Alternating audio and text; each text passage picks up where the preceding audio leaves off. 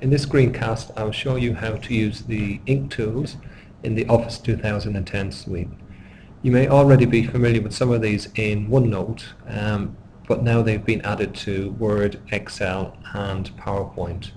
So you can use these tools with the laptop computers and with the smart boards in the classrooms. So to to use these tools, first of all open up a document. I'm using a Word 2010 document and then just use the pen to touch the screen or the smart board. When that happens you can see the ink tools and the pens appearing here. So select pens and you can see a variety of, of pens appear. So you've got regular pens, you've got highlighters as well. So let's just pick maybe this red pen here and you just write on the Word document like this. Change to a green pen.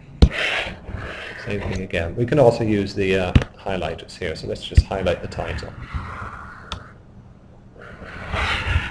So there's no need to use the smartboard tools um, when you're using the ink tools on Office 2010.